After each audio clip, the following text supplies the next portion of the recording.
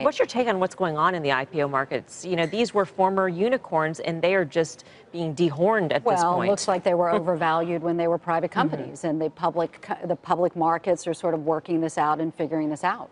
Right. And then with some of the other unicorns uh, in, in just private companies in general, there are issues about diversity.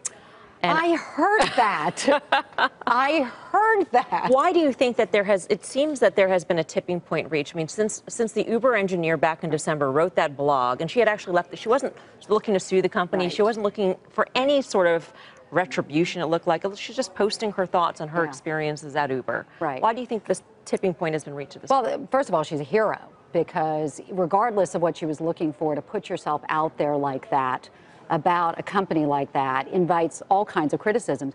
What was so interesting, Melissa, is everybody knew that Uber was hyper competitive, hyper masculine, not a great place. I wouldn't say for women to work, but for people to work. And she went public on this and it went viral. The power of social media and the one voice, the one story that changed everything. And then followed by women talking about how this is going on in the venture capital world itself. There really does feel like a sea change here.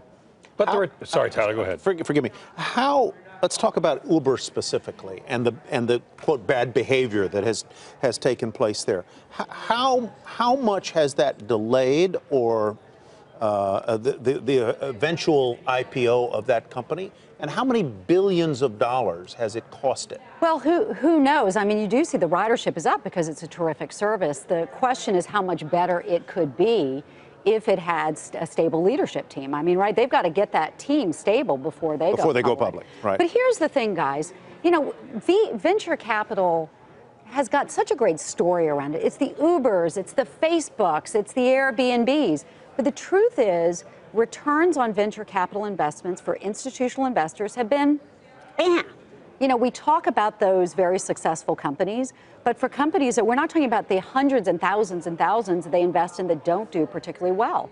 And so yeah. over the past five years, according to Cambridge Associates, you would have been better investing in the S&P than you would have been in which venture is, capital. Which is amazing because that dissuades people from investing. I think we should all thank venture capital because if it wasn't for them, we wouldn't be able to take Uber because they're funding Uber's losses. Right. I mean, every time you get into Uber, are you not absorbing some venture capitalist money because it's a it's a multi-billion dollar losing corporation? But let's let's also point to the other flaws of Silicon Valley, which is the the Theranoses of the world. Yeah right? Where products just haven't worked out. Right, right. How do we well, clean it's, that it's, up? Look, it's high risk. Venture capital is high risk. You start with a company that's an idea, it's a PowerPoint, right? And you expect it to get to a multi-billion dollar company. So you're going to have failures, but for that you expect higher returns overall, right. and you're not getting it. Here's the other thing. Last year, companies run, startups run by men were funded at a rate of 58.2 billion. By women, 1.5 billion, okay? We might, Melissa, you and I might agree, I doubt it, we might agree, guys are just better than gals. Right? Yeah, but 39 times better, 39 times better, when in fact, first round capital has shown that their investments in companies with women in the leadership teams have performed 63% better than their companies overall, the companies with men only.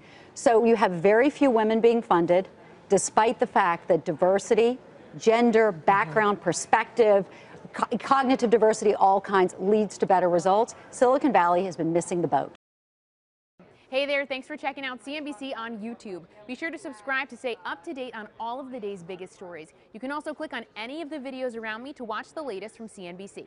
Thanks for watching.